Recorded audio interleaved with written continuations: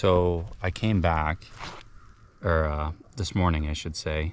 I didn't come back, and I just I've put all the I've siliconed all this stuff down. show you. So where the ice and water shield was was loose at the top, I always leave an inch up past uh, the metal, and then I come back and I'll put the I'll put the silicone, and you know because it won't hold up on its own. Remember this side was sagging down quite a bit, and this the ice and water shield it won't grip the masonry on its own. So you know I just come back after, and I put this um, through the roof product, and this is what I use for the flashing too. Uh, this stuff is great. It sticks to wet. It sticks to anything. I mean, you don't really want to use it on wet surfaces or too dirty surfaces, but I mean, the stuff, you know, it sticks to dirt, you know, for the most part. And um, it's actually really elastic and it seems like a really good product. I've been actually using it for a while to do stuff like this. So first off, before we do any cutting, we're going to go around and we're going to figure out, you know, at what, what heights we want to do our cutting at, at what heights we can do our cutting. Obviously, you know, I can't, um, I can't cut any lower. I don't want to put, you know, lead flashing down here. Um, so I don't have too much of a choice here. I don't really want to go on top of this one. Let's see my tape measure. I usually use the eight inch lead. So I've got eight inch lead here and I can't go on top of that one because that's eight inches from here to here and I still have to um, get my lead to turn and go into the joint. So ideally, I would cut I would cut this seam here, and then I would just have a little bit left to turn at the bottom like that. So this is going to be my first cut here at this height. And I'll just follow this brick, the very bottom of that edge of brick, the whole way across. So I cut that. And now I've got to figure out where my cuts are going to be going up the sides. Okay, so we can see where the old lead was, right? And I have eight inch lead, so that means it's eight inches wide, okay? And so I'll have about an inch and something wrapped around the corner. I could go on that one right there, right here, because I'm covering up all this nastiness here. And so I could just follow this brick here and this brick here and cut back, you know, eight inches roughly, because I got an inch coming around the front, inch and a quarter or whatever. So uh, I could do that like that. And then the next piece would go here. So we might be able to follow this right in line with, with uh, what we're doing here. Um, so one of the things that that you should know that we're going to try to achieve is, you know, picture my, my lead, it's eight inches wide, right? Okay. I don't want the, and I go with eight inch lead for a specific reason. Well, you know, I feel like it's easier to work with and it, and it kind of looks the best when it's done. Um, but a lot of guys will use 12 inch lead, right? So I, I have a piece of eight inch lead here and I have plenty of room for my ice and water shield to come up, you know, and, and tuck underneath behind the lead. So most times when you're doing this, um, say say someone's gonna they're hiring a roofer to come and do their roof, you know, and they're like, well, you know, before we do this, I need my chimney fixed or I need my chimney rebuilt. A lot of times you're gonna be doing the lead before the roofing goes on. What you wanna do is make sure you got about three inches here the whole way up, three inches off the roof, like this, three inches off the roof and you don't ever want your lead to get into that space. So you could imagine if I had a piece of 12 inch lead, you know, coming off the front, it doesn't work out so well, right? And what you what you never want to do is have your lead running all the way to the edge of the roof because because then there's no way to get ice and water shield behind your lead. So you want to make sure you can you could almost just strike a line here before you do your lead, an imaginary line three inches up from the roof and you just don't get into that zone. Uh, you know, if for, for some reason you have to cut into it a little bit, you know, no big deal. But just just leave the roofer or whoever plenty of room. You know, so down the road when they strip and redo this roof, they can, you know, they'll fold all the lead up, they'll be able to put new ice and water shield up on underneath. Okay, so that's gonna work out pretty good. And so I'll measure from the corner and we're gonna have four inches on every single piece, right? So four inch overlap on each piece. So we'll just kind of mark this out. You can see it. Okay, so this is the first piece that's coming on here. Second piece will come from here. And I'll cut I'll cut the top of this joint here when I do it. Okay, and I know that I'm gonna have to just cut beyond this mark here because this is eight inches. And I'll cut just beyond on either side just to give me a little bit of extra wiggle room. Um, and then, so I'll keep just measuring this up every four inches. I'm just gonna mark it.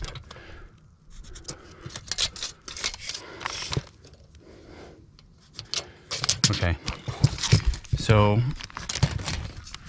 we got the first piece. That's the second piece.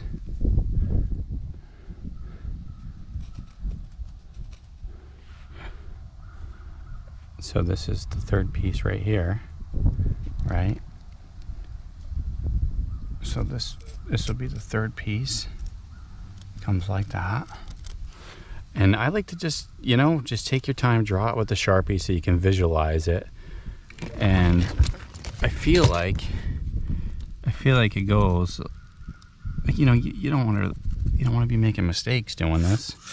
So do I have eight inches here? I do. So I got my overlap. Could I do, I could go up here, here, but probably, probably what I do is I just come over. I got this piece, okay? Maybe easier if I, if I number them so you can see them. So this is one, two, this will be three, Okay, third piece. So now do I step up here like this and do two pieces or do I come up, do I do two pieces here, step up? See, I've got a bit of a mess here. So, hmm, like anytime you get like a, uh, an area that's kind of messy, and you know, I parged all this up because it was pretty nasty underneath it. So we do want to try to cover that. So maybe what I do is, um, I got my third piece there. And then one, two, three. And then what do I do with this fourth piece? Do I come over? Let's see, I have, where's my mark?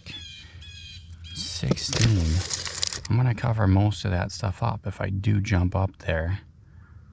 So instead of coming over two, I'll come right here, 12 there. That'll be my next piece.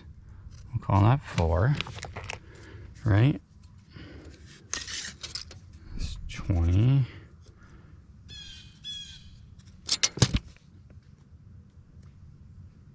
Okay, I don't want to come over here because all this will show above the lead. So now I'm going to come up here, right? So this will be it. Come up here. It'll come down like that. That'll be five.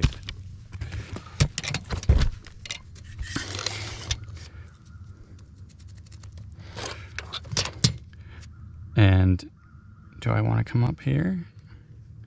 Or do I want to come over too? At some point I have to come over too because the roof isn't working out perfectly with the with the four inch step on the flashing. Um, so I always just try to get uh, four inches, and that's just how I like to do it four inches of coverage. Uh, other guys might do it different where they have a specific amount um, to try to match the pitch. Um, and sometimes that looks good, sometimes it doesn't. Um, so, but this is just how I'm going to do it. So, five inches or five pieces, and then if I come over straight here, I do yeah, I see. I think that's what I want to do is come over. And if I just, if I say this line here, Okay. I have five and six on the same on the same level. Okay, and all this nastiness is going to hide here because the next one will jump up here. So call that 24, 28. Let me just keep throwing marks at four inches. So six, we get a four inch overlap. This is the back of the six inch piece. Okay, this is the front, or the back of the number six piece, sorry. Uh, and this will be seven here. Okay. And we'll come like that. Right through that nail. Yep.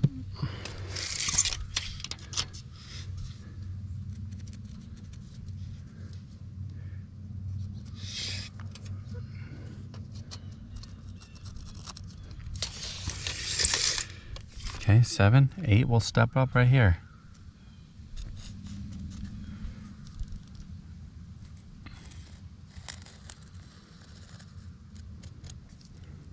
So that's eight. And then nine, what does nine do?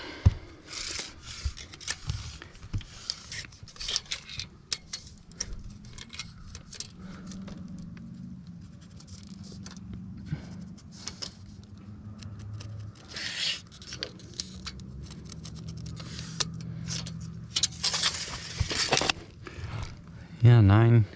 I could come over. Where's eight end? Right there. That's fine.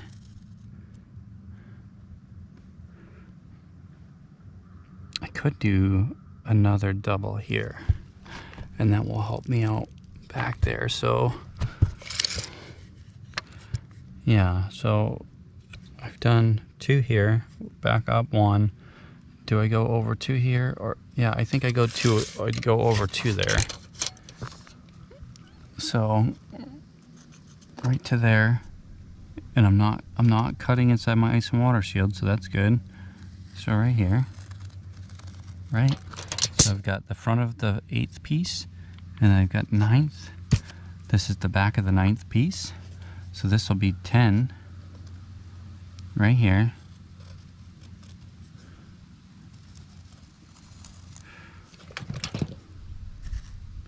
Yeah, see this brickwork gets real crooked up here too. 10. And then, okay, so, I mean the brickwork's crooked everywhere. Look at it here, just.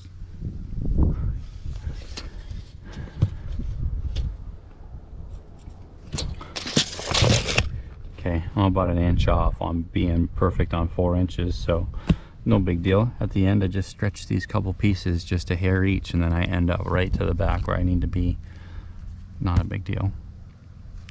So 10, and then this one will go up one here. Oh, just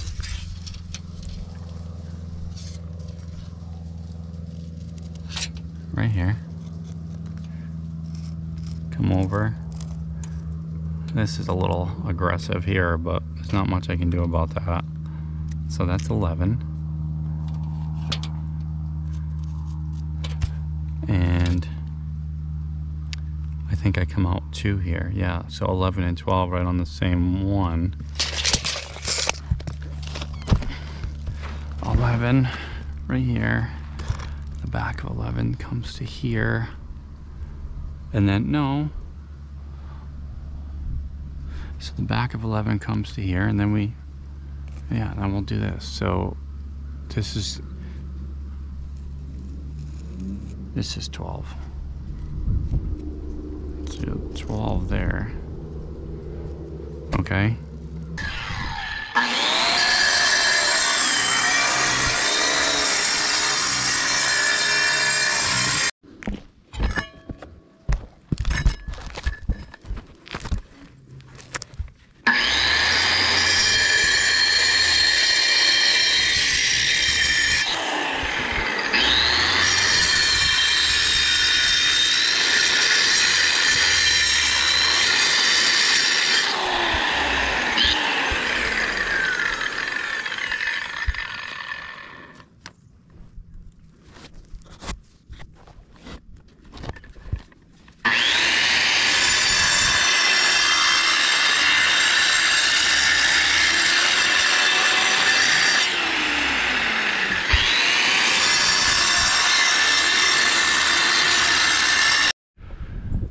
Guys, we are all cut out and I've taken my blower and blown out all the saw kerfs to get all the dust out. Just got a roll of lead up here. This is um, this is eight inch lead and it's just eight inch sheet lead. So it's a 50 pound roll. This is how they sell it in 50 pound rolls. I've got this, I picked this up at my, my masonry supplier. I'm gonna measure, so roughly I'm at 47 inches. So I'm gonna add five inches to each side, and this is just how it's gonna go. Five inches to each side. I'm gonna hold my tape there, and I'm gonna go right to 57 inches. Give that an extra roll. I'm just gonna mark it with my tape there at 57 inches. And I left a nice deep mark that I can see. Got my big square, decent blade. Just scribe it the first time, and the second time you're cutting it. And then if you haven't got through, then that's it. Okay. So that's the first piece. And I'm gonna just mark, I've got a five inch overhang on each side. So I'm just gonna put a mark here that lets me know that's the five inch mark. And then also to hold this piece, I'll show you what I'm gonna do here. Okay, roll that out. So I'm gonna cut two pieces uh, at an inch and a half.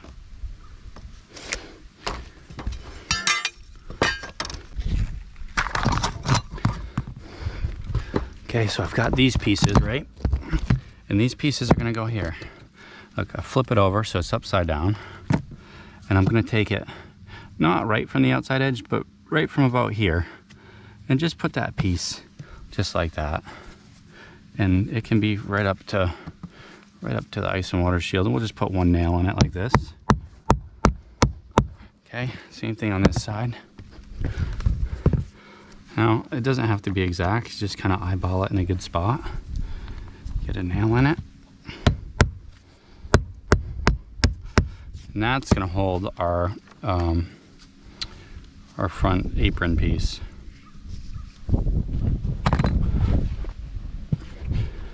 Okay, we're gonna want this one to bend up the chimney, right? We don't wanna bend up crazy far, but um, if we could go like two and a half inches, that'd be pretty good. So I'm gonna flip it over and I'm gonna do this. I've got it on the plank here. I'll just mark it here at two and a half. Okay, bring that to the, I gotta slide all this down.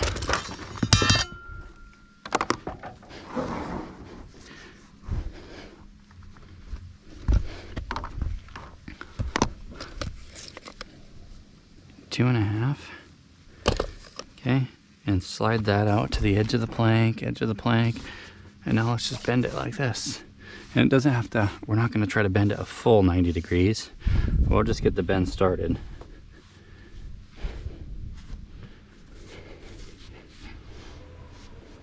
Okay, decent, flip it up. Now we're just gonna, gonna look, my five inch mark is here, so I wanna just be flush with that edge. Just push it up on each corner, like that, and we're gonna bend these over to hold it. And this is what's gonna hold this piece.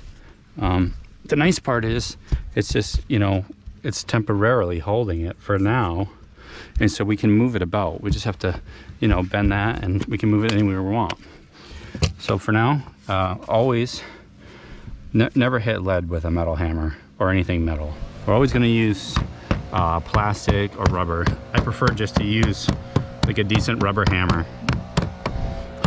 And just be gentle, work it into place. It actually, it works really, really easily, this lead. So just kind of give it some love taps.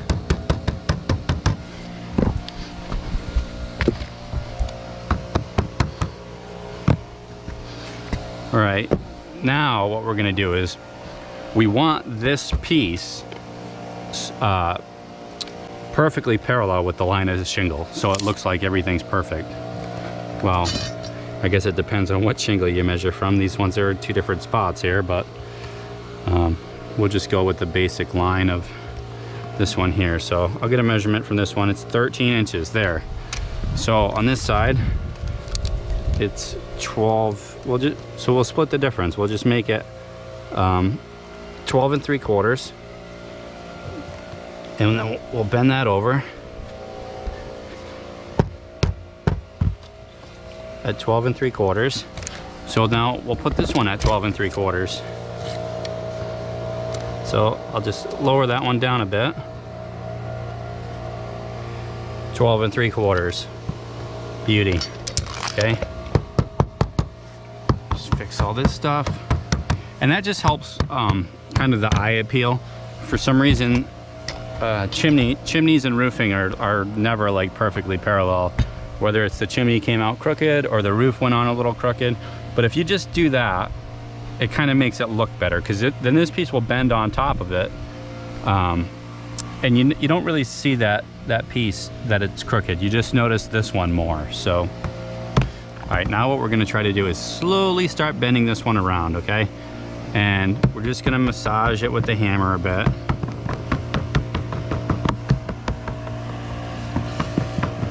And you know, that it's a decently warm day, so we should be able to get this to bend around. If you have trouble with it, you can put a little heat to it and just kind of warm it up um, with a little torch.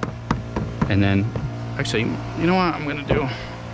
It seems to help if we just put a little crease in it sometimes, like, like that. I'm just gonna put a little crease heading out this way, and that will help us get it around. some brands of lead bend easier than other brands of lead and uh, you just have to be careful with it because you're trying not to tear it here and it will tear if you if you try to work it too fast or you hit it too hard or the lead sometimes it's just the type of lead you bought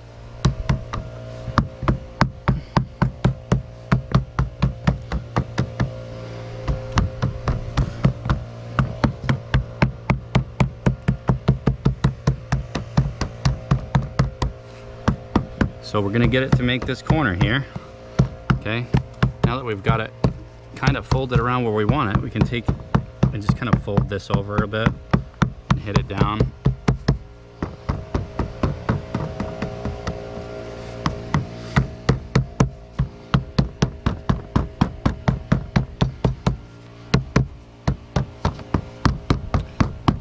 This is really gonna help us get coverage, this piece here, okay? most flashing uh, on the corner, guys have a real problem with the corners getting coverage. So they, they've literally got pinholes in the corner. So this is gonna help us, you know, get plenty of coverage on both sides. And, you know, there may be a better way out there. Um, I, I haven't, without lead welding, without actually welding the lead and doing all the lead welding work, uh, which in the States, I, have never seen anybody weld lead. It's still big in Europe where they, they weld it all up, but not here. So this is just how you do it without uh, oxyacetylene and trying to weld the corners. Um, this is how a good way that I have found to do it. There might be a better way, I just haven't found one yet. And no one's been able to show me a better way. So now I'm gonna cut this piece. It's gonna go over the top and I'm gonna cut that piece the exact same. I want five inches hanging out on both sides.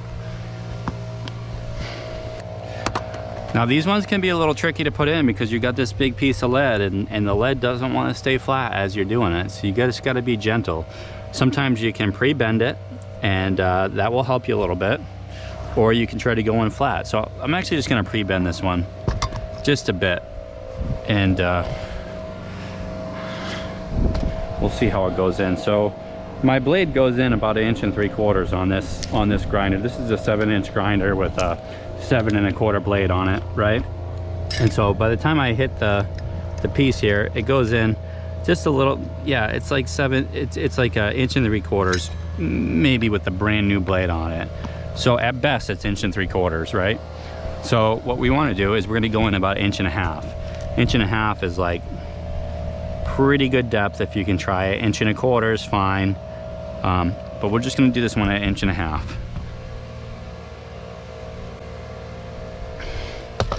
Okay, and it doesn't, we don't have to have a nice crisp edge on there right now. We're just trying to bend it a bit. And every time you put a bend in metal like this, it gives it some rigidity so you can actually move it, you know?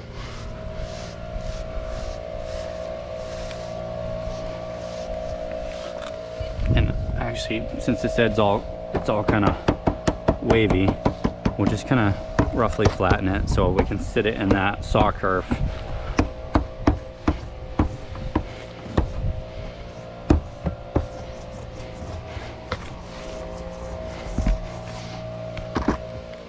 Now I can actually pick this up and, and kind of move it a bit. So just gently, we're gonna try to get it in on one side and then you just slide it, you just slide it a bit, like back and forth. And we gotta get the bottom to bend out, bend out on that a little bit, just because it's rubbing, okay? Now we're gonna see where we can get this to sit. If we can get it to sit. There we go.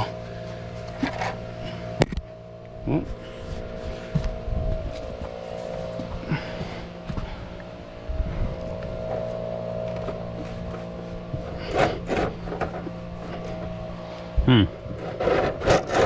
Seems to be something in there right there. Yeah. Yep.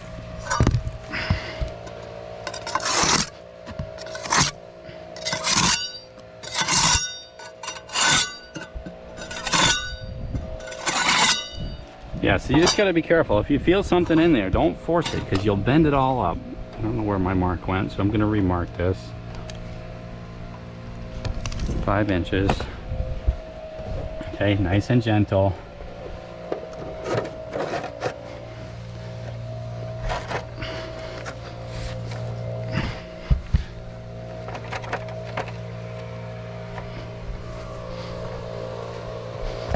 Okay, that's that seems actually there's a, just a little bend in the chimney here, so we're gonna bend that lead to push it in on this side.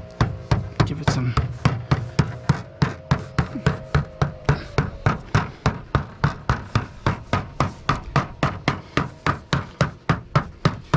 and sometimes it depends on how my my grinder comes through here. Sometimes it doesn't sit the best on some of the crooked brickwork underneath, and uh, you know I don't you don't actually get in a full inch and a half. Sometimes sometimes you're only getting in an inch and a quarter. Okay. That side's good. Just work our way down here.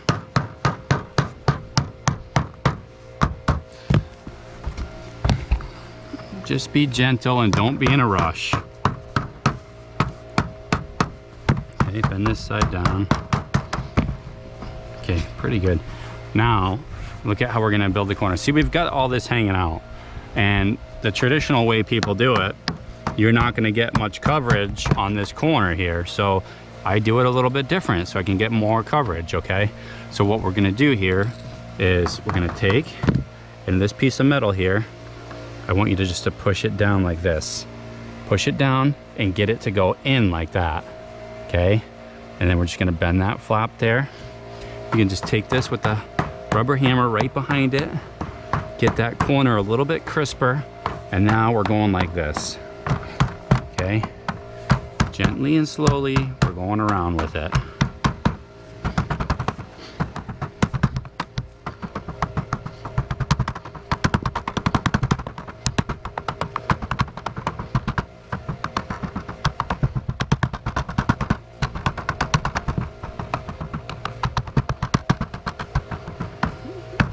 Try to get it all at once because you'll tear it. So this lead will stretch. It will stretch, but you gotta you gotta do it a little bit at a time.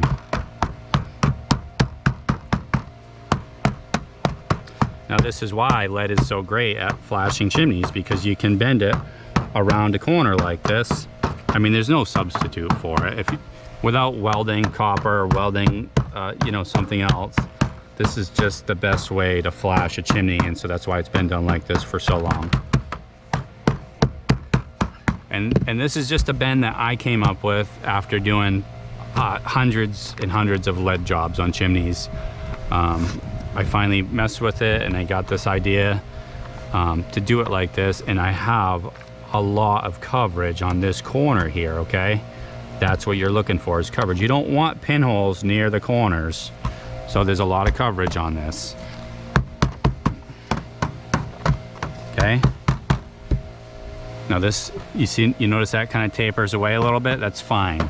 That's just because that this metal underneath tapers, the brickwork tapers, the other lead tapers, it kind of builds it out. So it just comes at a little angle sometimes and it's perfectly fine.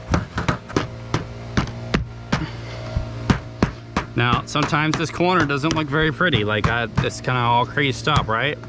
Don't worry about it. It's actually gonna get covered up by this next piece that comes on. It's gonna cover all that up, okay? All we're looking for on these two pieces is to get the most coverage on this corner. And look how much coverage we've got there. That's I mean that's a lot. That's more than you'd see almost anywhere else. Okay? Now we're going to take our measurement for this one and uh, and and hopefully it's the same measurement on that side and um, we can cut these two pieces the same so what I like to do is I just take my um, for this first one I come down and I just say okay I want four inches of lap on that bottom, right? So I put it on four, then I measure up. And so it's 11 and a half, so I'm gonna add about inch and a half to that, right? So I'm gonna be at 13 inches for the piece on this side. And the other piece on that side should be the same. Sometimes on old houses where the chimneys are really crooked, it's different. Um, so we'll just double check. Um, it'd be nice to be able to mirror. Yeah, it's close. It's within like a quarter inch, okay? So we're just gonna mirror the cuts. Uh, for every cut I do on this side, I'm gonna do one for that side.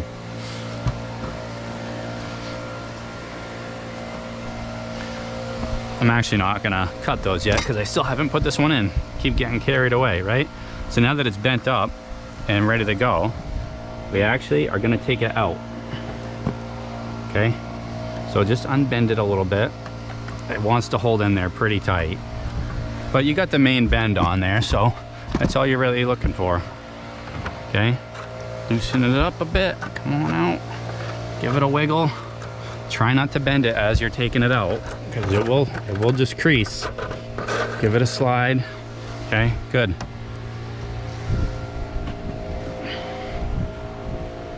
If you've bent it a little bit, you know, you just try to make sure you straighten it out before you stick it back in. All right, here we go. This is the magic stuff right here. Um, this stuff is called the Through the Roof. Um, it's done, it's made by Sashco Sashko Sashco, and they make the Lexel product too, which you could use the Lexel product on this too, it'd be fine. Um, there's other silicones out there that are probably really good too. Uh, I used the uh, the Geocel um, Proflex for a while, and that seemed to be pretty good, but um, I just refuse to buy anything that's not in a plastic tube now. I won't buy something in a cardboard tube because that Geocel stuff, I would buy brand new tubes and the cardboard would literally explode out the side. And so you'd have eight or nine bucks down the tube because because literally the cardboard rips out the side. If you forget it in the back of your truck and it gets damp, the tube is no good. So these are plastic and they can ride in the back of the truck with the tools. So, uh, and it's actually really, the stuff, it's, it's actually really, really good stuff. This stuff stretches like crazy. You cannot, like, you just, you stretch it for days and it, and it stays clear. So, all right, so we're gonna put, we're gonna fill up this whole saw kerf as much as we can with this stuff.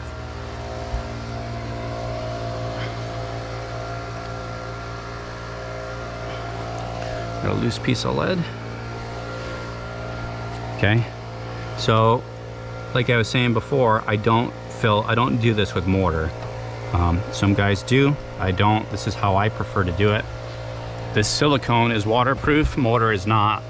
And also mortar, when you're just taking out one saw cut uh, at a time, the mortar doesn't bond to the lead.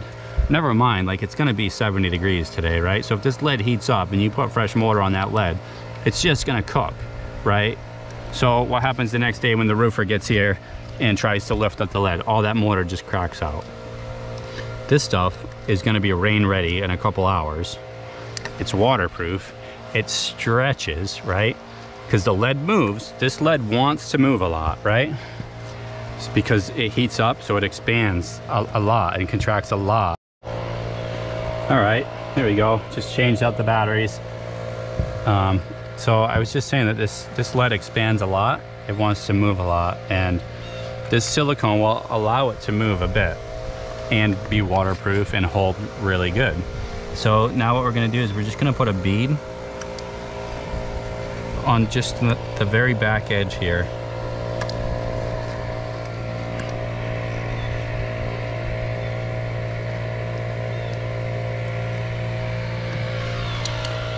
Um, what you don't want to do is put silicone all on the back of this piece, okay? We don't want this piece to stick here because the lead wants to move so much. It just wants, lead wants to be free. It, it needs to move because it heats up and it expands and then it cools down and it, and it shrinks. So it has to be free to move. If you put silicone on here, it will wrinkle the whole front of the piece of lead in short time. So do not silicone it up 100%. Lead needs to move. Oh, I got a kink in it. Is it gonna go? I got a kink in it right there. There we go. Let's just slide it back and forth and just kind of massage it. Oh, perfect.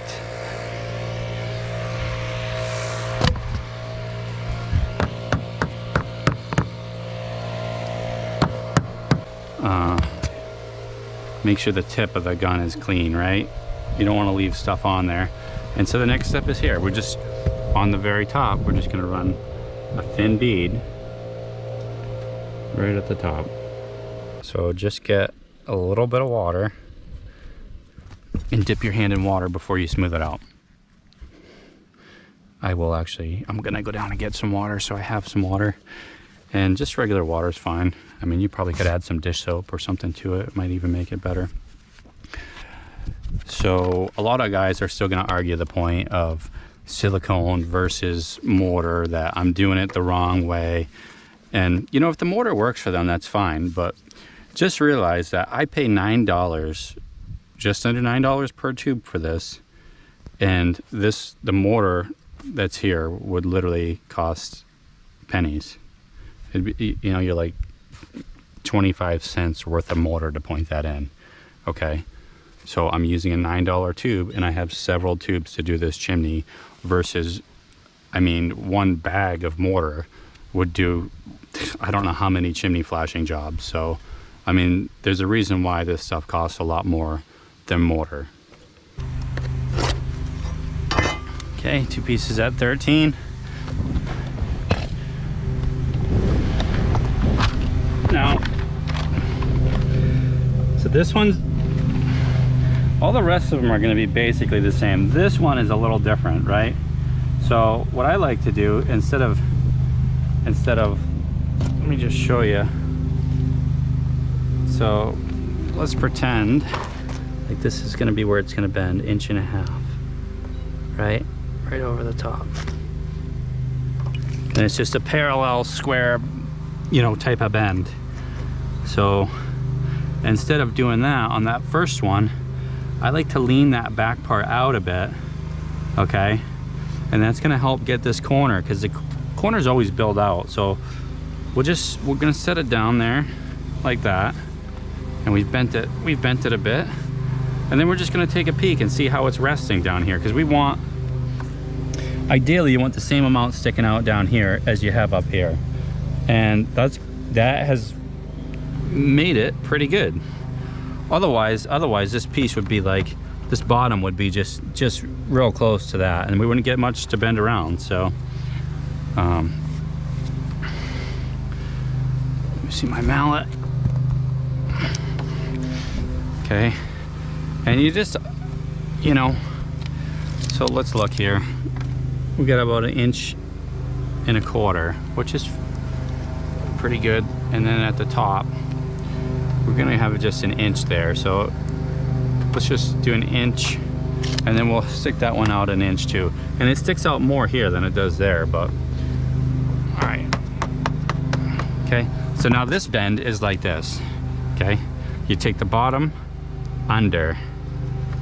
Okay, and you just do it slow and it's gonna wanna bulge out on you and you just fold it right under. Okay, bring your mallet around like this.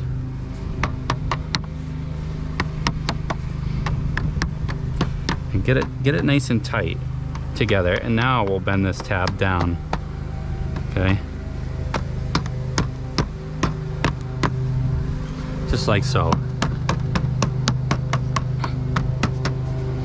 And slowly bend this around.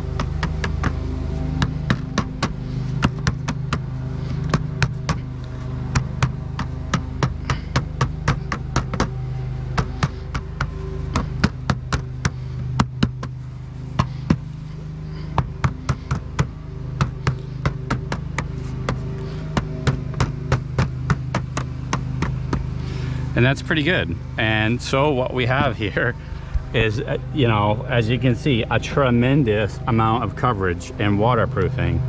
Uh, that's what we, that's what you're looking for. And as many chimneys as I've taken down and rebuilt as many as I've done lead around and I've looked at you know how how a lot of people have bent their flashing um, over many different decades of doing it. You know you know I've ripped down chimneys from you know a couple hundred years to 50 years to, to whatever. So I've seen a lot of what's been done. And I've never seen a chimney flashing job with this much in the eh, coverage in the corner. Th that's why I like doing it like like this. Um, more coverage the better. Okay and so this one's gonna go on just the same way as the other one went on. I'm gonna do this. We're gonna fill up the saw kerf. Also, this this through the roof stuff, it's kind of thin. Um, so when you when you put it up to the saw kerf, it wants to go into it a lot more than some of the other types do. Uh, just because it's nice and thin. And then we're gonna do that. Okay. We're gonna do just a little bit on the corner here. That's it. You don't want to do more than that. You don't want to come right down the side. All this you know, when the roof, when I when I actually come to do these shingles, I'm gonna lift up on this stuff. So, or when the roofer comes to re-roof this in 20 years, it's gonna lift up on all this. And we don't want it silicone completely because then it's just gonna be junk. They're gonna have to redo everything.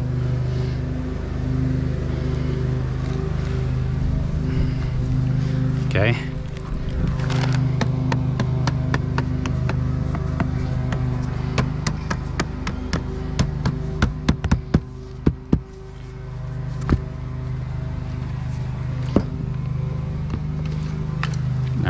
Fill this up.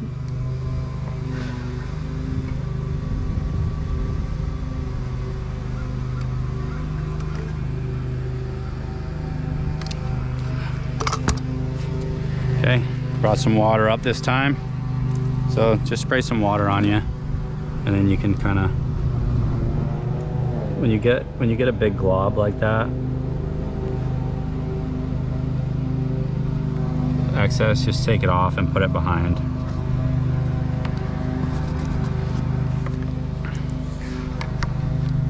And it really goes a lot better if this silicone's not sticking to your finger. So make sure if it starts to stick, if it starts to stick, you just use, you know, come up here, get the stickiness off your finger on your pants a little bit, wet your fingers down again and then you'll get that nice smooth look you know with the with the silicone here. That's what you're looking for. You don't want it all rough and bulgy or whatever. You want it kind of forced in and smooth. I'm gonna show you something here. Okay so this one it's not really going anywhere but if you find that your saw kerf is a little wider or the the piece wants to kind of float because sometimes they'll try to float out on you a little bit especially when you start putting these ones on top and you're kind of irritating this one a bit you just take a piece of them, piece of a small piece of scrap like this, right? Okay, just gonna bend it over. We'll put it right in half. Flatten it with your hammer. Okay, and now you're just gonna stick that piece. You're gonna stick it in the back there, okay? And you can use whatever you want that you've got to kind of you know, that you've got to kind of put that in, right? And so you just push it in a bit, just like that, okay? And that's gonna help hold it while the silicone sets up. Now that one, it won't go anywhere now, you know? Um, so once the silicone sets up, it won't go anywhere, but you know, also when we get to the top up there, we don't want to look back down and see, oh, this one, this one kind of floated away while we weren't paying attention. So it is nice to put a couple pieces in like that.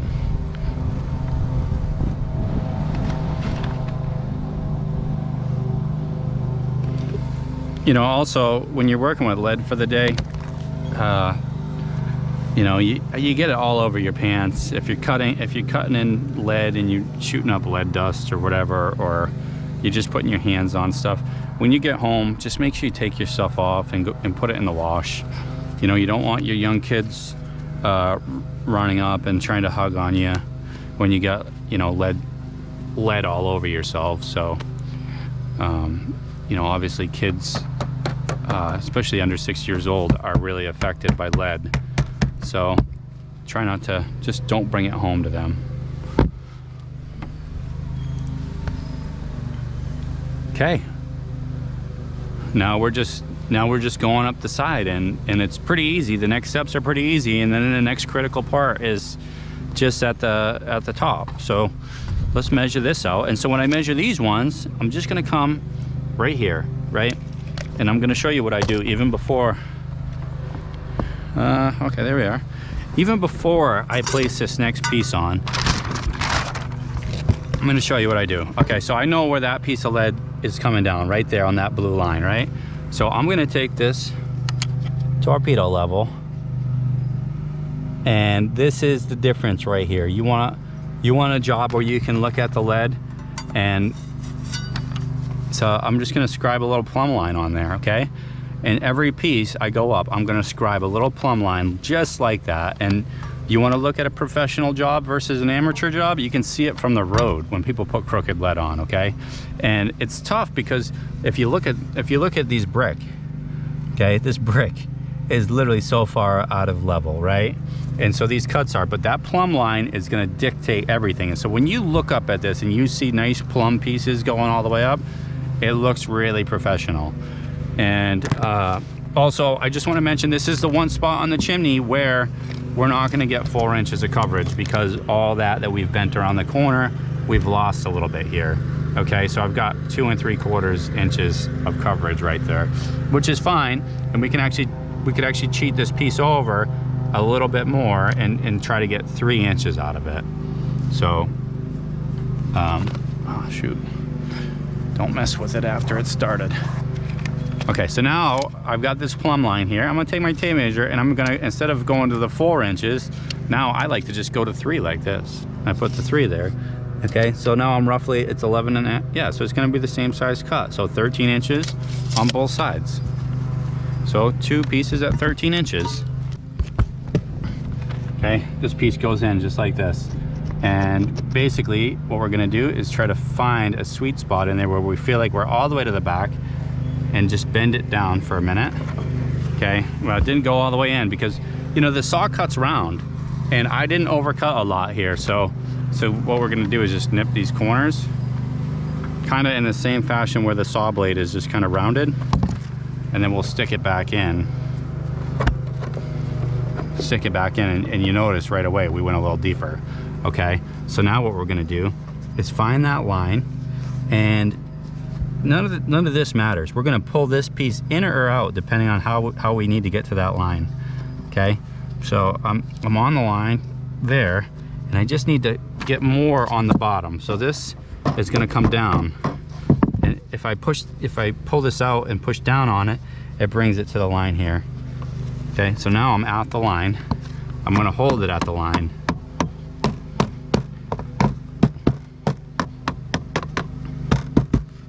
That's it.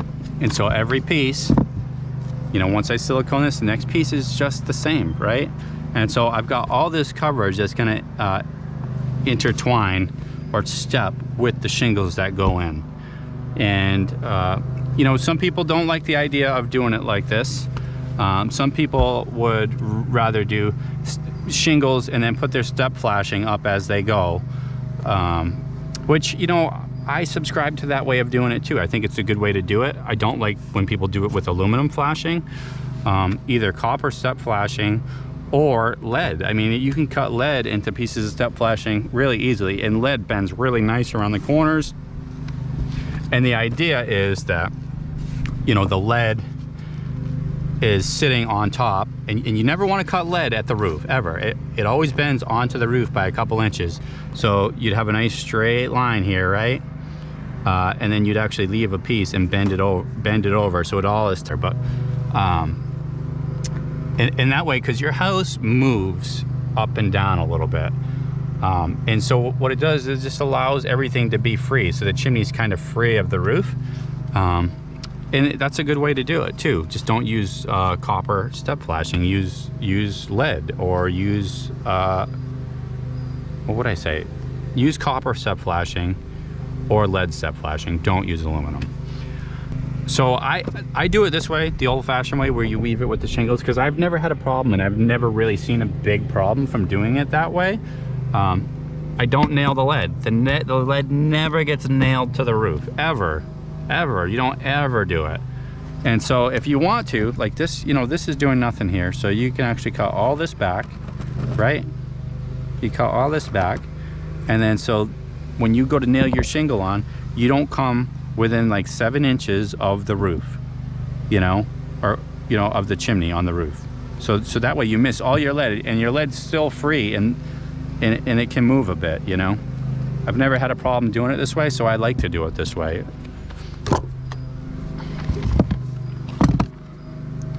Okay, this piece goes in.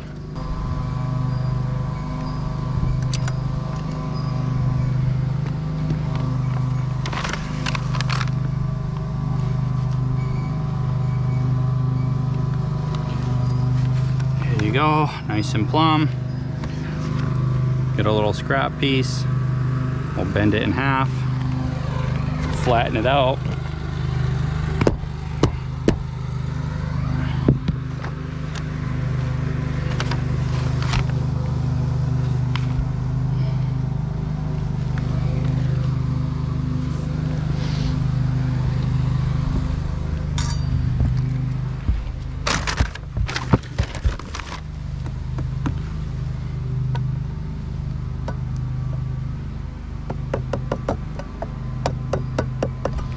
Okay.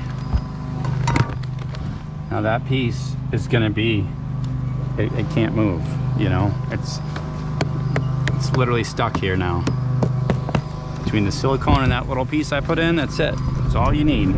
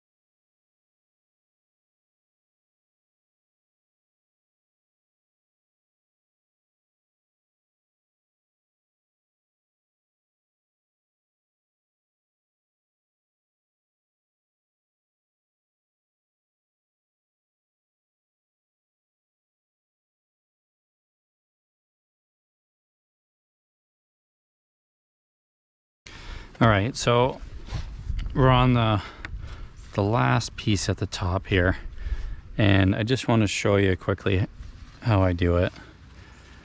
So it's important that you know this piece a lot of times will come to the end, right? But that's not the end of it. You need to come with this last piece, measure over four inches, and then have everything else hang out beyond the chimney just like just like this one does. Everything hangs beyond. And then you can just kind of mark the back side of what it does. And this piece this piece here we're not just gonna cut that off like that. We'll, we'll cut it off like this. You know up. I'll show, I'll show you. Okay. So we're gonna leave, that's our mark. We're gonna leave a little bit of extra on. So let's just cut it down like this. And this will all get covered up. So if the cut's not the best, no big deal. Cut it down to that point somewhere.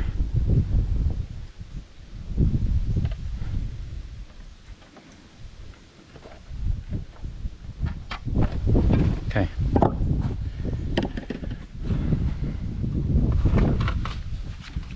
Here we go, right to our plumb line. And now we're gonna um, make sure that's on properly. Now we're gonna bend this under, kind of in the same way we were doing the other ones. That's just gonna help hold it.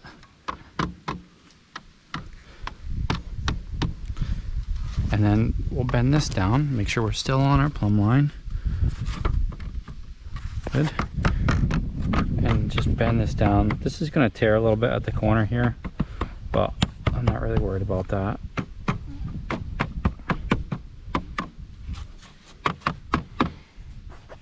Okay, just like that.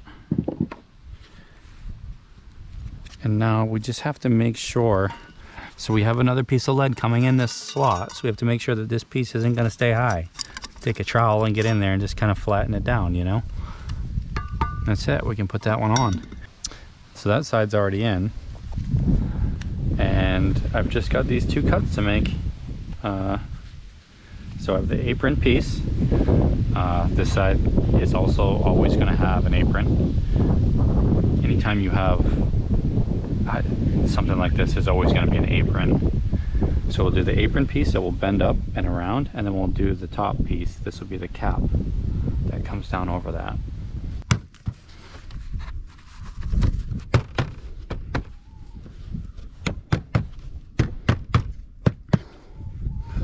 All right, not bad, not bad. I get a little tiny crack there, but no big deal.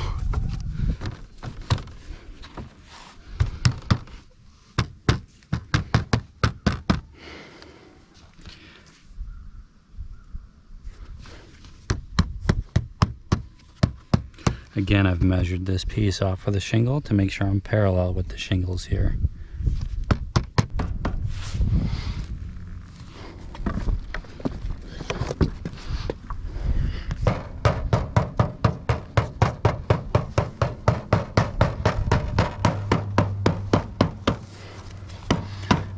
Messed up. I wasn't supposed to cut 5 inch overhang on both sides on this. Oh well. Oh well, messed it up. Shoot. That's way too much for this. I'll have to um I'll have to just cut it in place here. Okay. Wrap this.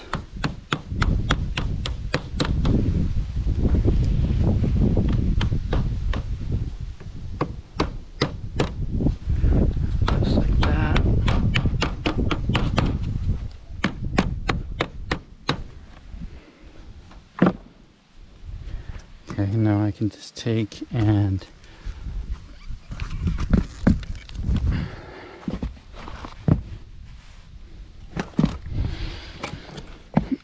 take and mark this. So I've got a little bit of excess there too. I could take and mark that. So I'm getting ready to call it for the day. Uh, I wasn't able to take a run and get the shingles so uh, this is how I'm going to leave it. Uh, the lead's all done. I put this uh, synthetic underlayment on. This is just Owens Corning's brand. Uh, it's not the same brand they had on the roof, but it, but it's, it's just as good. Owens Corning, Owens Corning products are are pretty good. So uh, I've just got that stapled down. I've just got it resting over the lead, and I tuck a couple shingles in like this, some over the peak. I'll throw my blankets over the top and just throw some weight on them. And it'd be good I should be able to take water uh, no problem for the night. And the reason I didn't go get the shingles is they're over an hour away so uh, I, I couldn't just go to my local place and get these same shingles.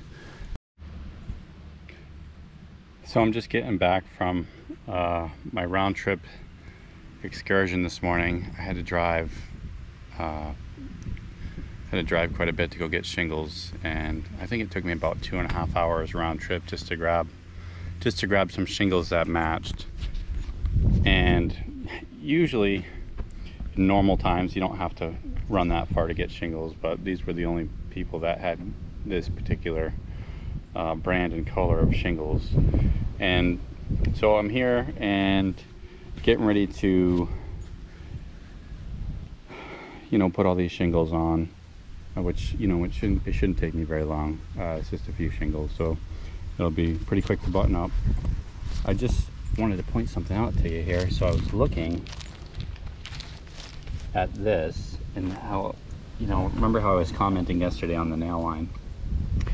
So it seems that CertainTeed is actually saying that this nail line here, see the blue from the top of the blue to the bottom of the blue, is actually, they're saying you can nail that whole thing, which is strange to me because the nail line's actually here. I don't know why they're telling people that you could actually nail here. And I think that's really just bad on because you can see where that shingle overlaps here see where it's double thick and then it's only single layer that it's double thick right here that's where you'd want to nail it so I'm going to be nailing these on the nail line here where it's double thick uh, anything above this line uh, to me is just high nailed and that's bad practice so I've got my first uh, I, I got these shingles on and I've got my lead all back where I want it. I had to re, you know, take the nails out of these and reset these on top of the shingles. So this layer of shingles got cut all the way up to the chimney. And then this had to get nailed back on this uh, piece that holds my apron. Okay, and so I'm just gonna show you how this first one goes. So I have, um, uh, I want all three of these pieces of lead under this first shingle. Don't try to layer them. Just put all three of them under this, under the first shingle, right? And then I'm gonna show you um, an issue that uh, some people have. Okay, so you notice I've got this piece of lead, okay? I put this one down on top of this one, okay? And then you, you know, you wanna layer these, right? But it's not so critical where you have to layer every single one. I mean, if you can, you do it, but sometimes you can't. So, so what happens is that little piece of lead starts sticking out, right? And you can let that run if you want, but for some people it bothers them, right? So uh, what you can do is you just you just nip that off, right? You cut it, you know, flush with the shingle or, or back just a bit. Okay, but let me show you what happens with the next one. Sometimes this is what happens, right? If I put this next shingle on here, get it all lined up. Oh, Okay, so I've got it lined up now. And look how much is sticking on, right? Sticking, sticking over with the lead, right? Okay, well that doesn't look the best, right? And then so the next piece is gonna be even more. Sorry, there you go, you can see that now. The next piece is gonna be even more, right? And so people get confused um, because, you know, the first time, the first one, you know, we'll just nip that no problem. The second one is a little bit different here, right? Because now look, you've got it here. You can't just nip that one because you have to cut here, okay? So I had an experienced roofer about two months ago. He came and he cut all my lead like this and I literally lost it because what I'm trying to get is is I went four inches of coverage of overlap on each piece of lead, right? Well, you can imagine what happened on the next one. He cut it way up like that, you know? And then all of a sudden, all of a sudden, now I only have like an inch of coverage or maybe a little bit more on some of my lead. And this guy was supposed to be a really experienced roofer. He'd been doing it his whole life. He said he'd been doing it like this for 40 years. The guy actually put nail holes, he, he put nails through my lead, through my brand new finished lead, right? And so anyhow, I was irate, and and maybe it wasn't the guy's fault. Maybe he had just never been taught a different way, or never. Maybe he just wasn't willing to learn. So I had to meet him on the job and and explain to him um, what was wrong with what he did after he he drove nails through my waterproof substrate and cut my lead way up like this. Roofers like just they love to cut lead. I don't know why. They just they cut they'll cut it off clean right here, and it's literally the worst thing you can do. So anyhow, you can you can nip this, but you cannot cut up any higher than this, right in line with that, right in line with the vertical piece. You cannot cut higher than that because what you're doing is you're actually starting to chew into the overlap. You know, this is chewing way into the overlap on that piece, and you just can't do that. So to so all you have to do, literally all you have to do, right, is okay. We'll just take this shingle and we'll put two pieces of lead here. Okay. Now we've got it. Now we've got it. So I nip. I'll nip that first one. I'll nip that first one, and now we're fine on the next ones going up. You know, simple as that. And all that guy had to do was just put a piece of lead under another shingle and he wouldn't have had to violently cut my lead like that. Um, so anyhow, I just figured I'd share that. Okay, this is a, a problem you're gonna run into all the time when you're either doing roofing or some chimney flashing work is your piece is just too short. Um, a lot of people are tempted to you just put in and nail in a short piece right through the lead and everything here but you really want to avoid that and you don't want any short pieces there you're better off you know sliding this piece over and putting a small piece in there um, if anything but so this is I'm going to show you how I'm going to do it.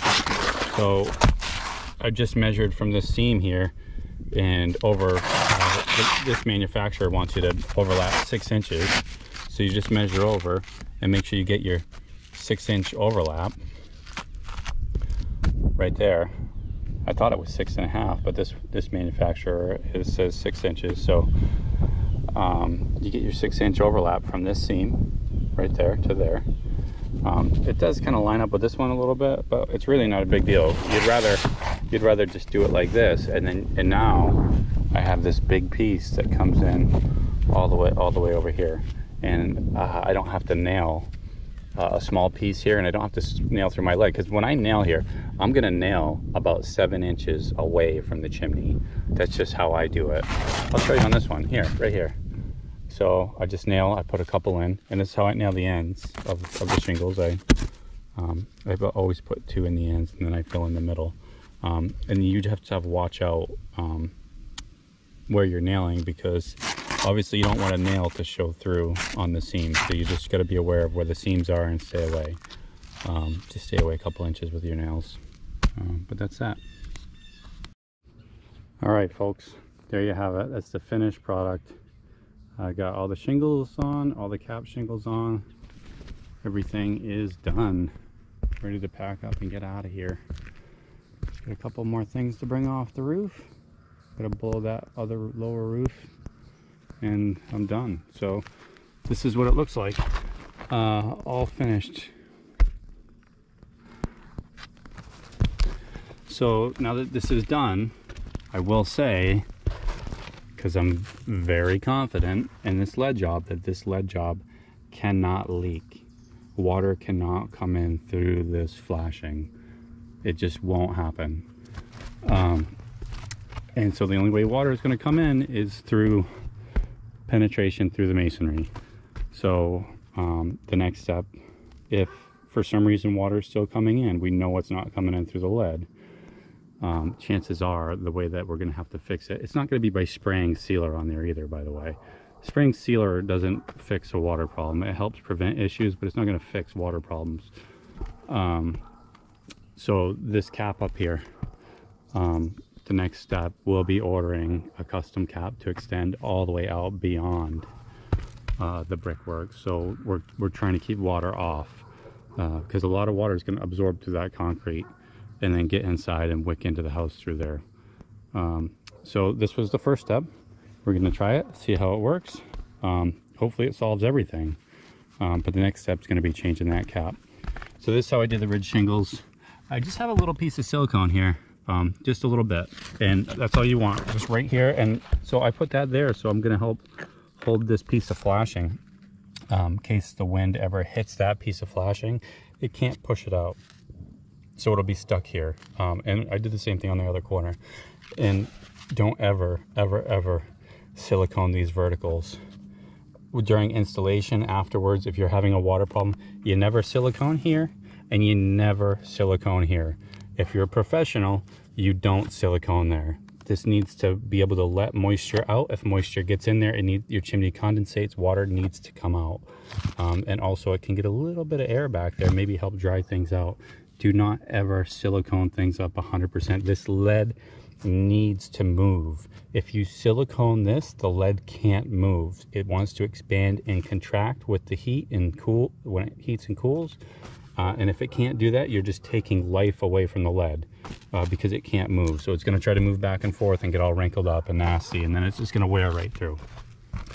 Uh, this is how I do the, the ridge shingles. So I start from here and I work my way back uh, and then I just cap it off like this. Uh, I bring it and I overlap a couple and then I put this, uh, you know, the four nails on like that over this little trim piece and just silicone the top of the nail holes. And that's it. Finished job. We're out of here.